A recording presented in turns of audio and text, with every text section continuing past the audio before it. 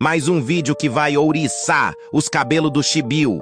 Hoje você vai ver como fica a chupeta que cai no chão. Derrubei a pepeta do meu pequeno no chão para te mostrar como fica. Lavei a chupeta e coloquei para esterilizar naqueles esterilizadores de micro-ondas. Será que vai dar certo? Vou terminar de passar a chupeta limpa aqui e bora pôr na estufa.